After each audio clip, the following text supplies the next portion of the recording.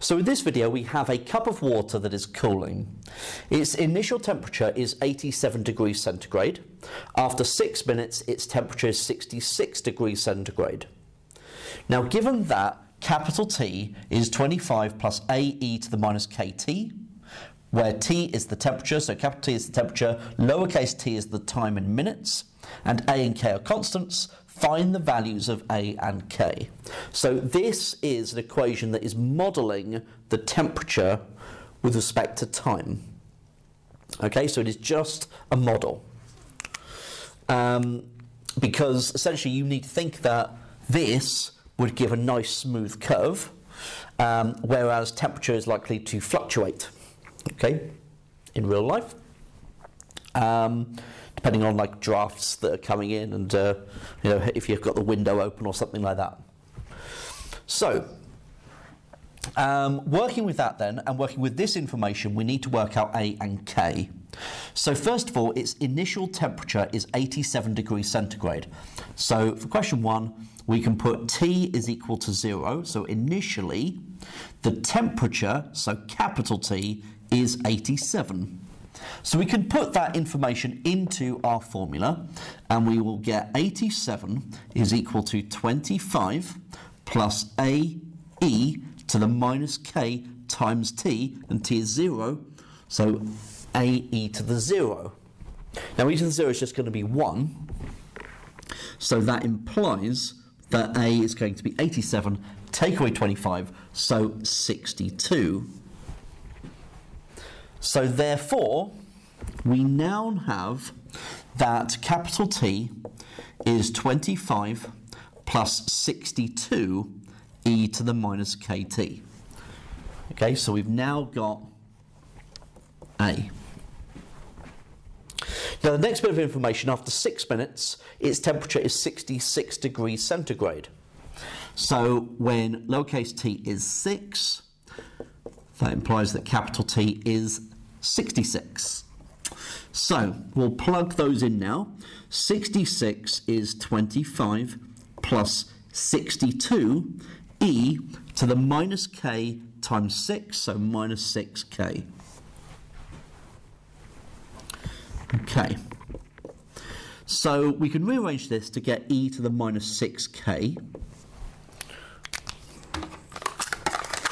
So if we do 66, take away the 25, then divide through by 62, we'll get 41 over 62. So that means that minus 6k would be the natural log of 41 over 62. Okay, and so k, dividing both sides by minus 6, is minus 1 sixth natural log of 41 over 62.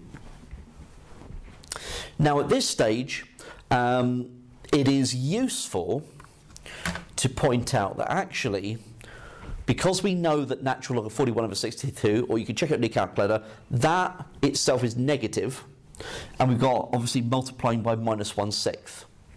So what you can do is you can rewrite this by using your uh, power rule for logarithms, by bringing the minus sign up to the power. So essentially there's a minus 1 multiplier. So I'm going to bring it up to the power of the 41 over 62. So we could write it as 1 sixth natural log of 41 over 62 to the minus 1. And of course 41 over 62 to the minus 1 is 62 over 41. So 62 over 41. Now if you want to leave it like that, that's perfectly fine, and use that throughout. Um, but it is really useful to see that because sometimes the exam question will ask you to show that you can write k in this form.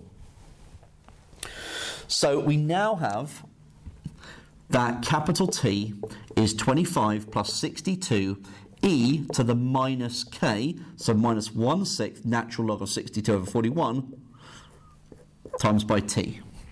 Okay, and so this is our formula. So question number two, what is the temperature of the water after five minutes? So I'm looking for capital T when T is 5. So that's just quite straightforward, right? We can just substitute the t is 5 into this.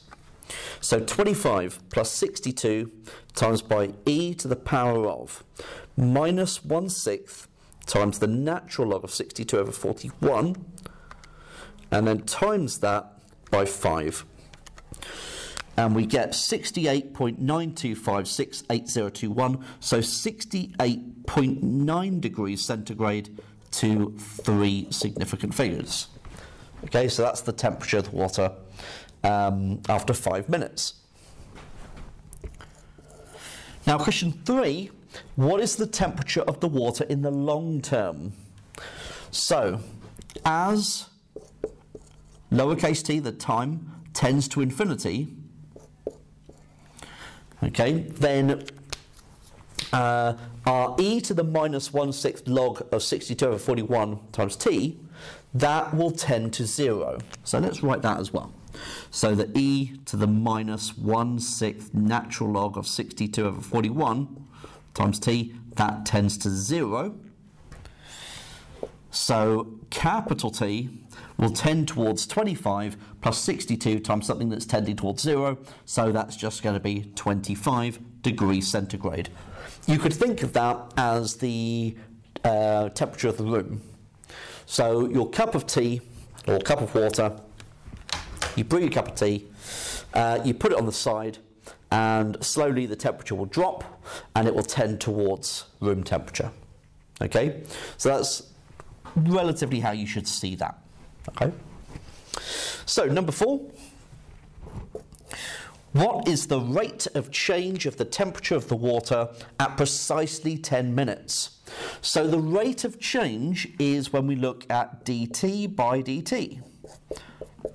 Okay, so we need to look at this and we need to find the gradient function. So 25 differentiates to 0.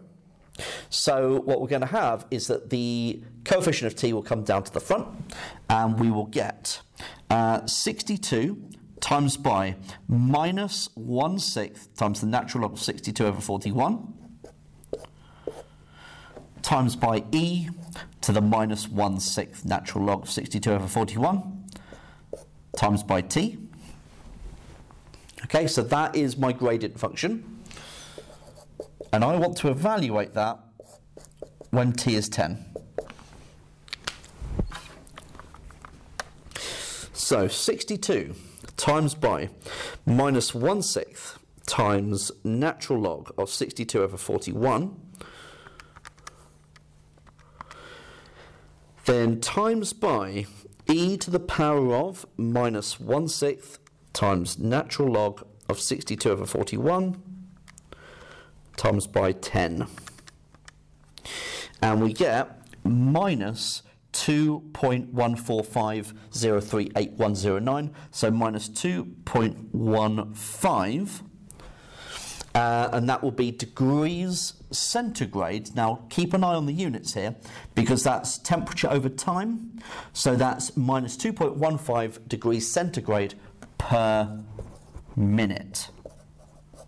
So the rate at which the temperature is changing with respect to time, it is dropping at 2.15 degrees centigrade per minute.